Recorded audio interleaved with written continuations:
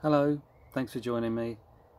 There's an old quote that goes something like Two companions that I will say goodbye to at the gate of heaven are forgiveness and repentance.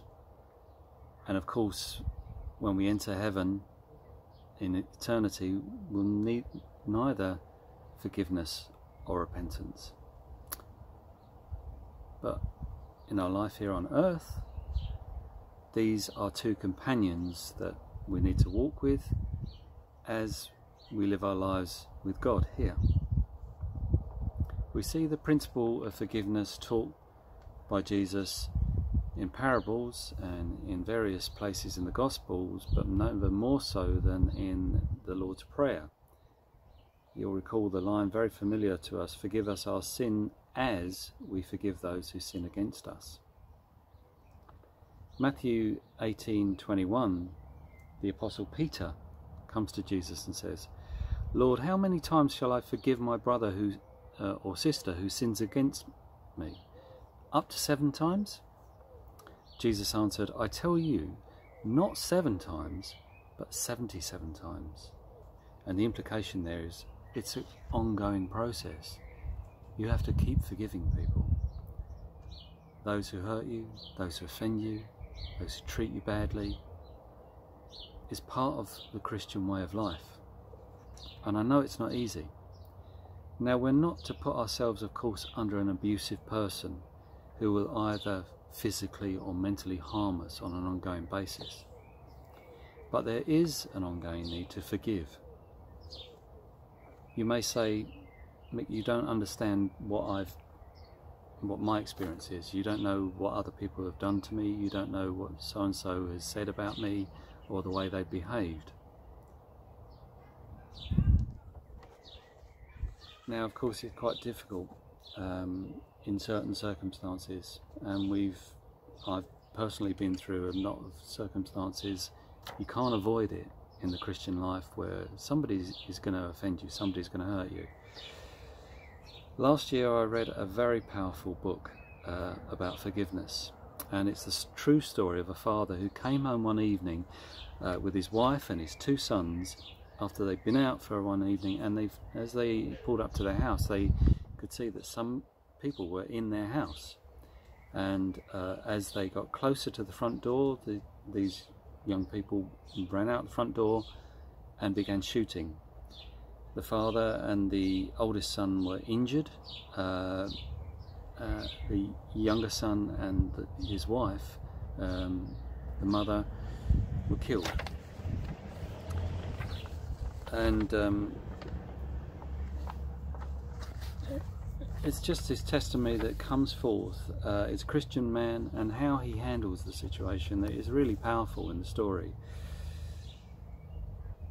He decided while recovering in hospital to forgive those in the breaking, including the killer of his wife and his son. When you read the story, it strikes you what an amazing act of forgiveness this man chooses to make. As the story unfolds, it comes to light that the person behind the break in and the deliberate shooting of the family members is actually the oldest son. Now, the oldest son is then charged with murder and he is sentenced to the death penalty and he's on death row. And the story becomes one of the father supporting the oldest son through this very dark time.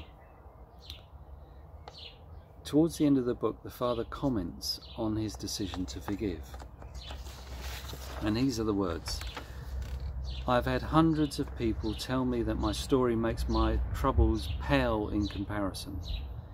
But what lesson can we learn from my experiences? Perhaps it is that we must always have the power of choice to trust or not to trust God and His Word. When storms come, we must choose to believe that our loving Heavenly Father will weave even disasters into the tapestry of our lives in ways that will ultimately bless and bring glory to Him. God honours this trust, just as He blessed my trust on the night of the shooting. As I wrestled with my doubts that night, I made the conscious decision to trust him even though I could not imagine how the murders could possibly work for good. I made that choice because his word, the Bible, tells us he will do just that. And I wanted to believe it, even as I doubted. It took a real act of willpower to make myself trust God even in those moments. But that's what He is waiting for our choosing to trust even when it doesn't make any sense. And that is the essence of faith, isn't it? Just right there. To trust God even when it doesn't make any sense. Once I made that decision, God moved.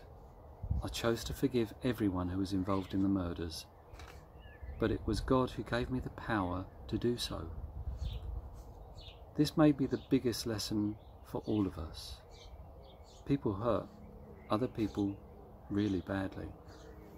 But since God commands us to forgive, He will give us His supernatural power to do it if we submit ourselves to Him, even when we feel the task is too big.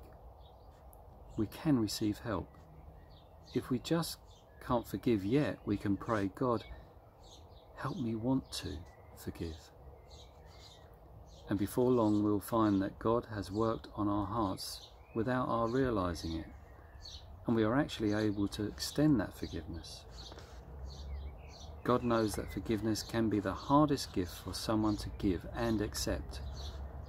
But He also knows it is vital for our own healing.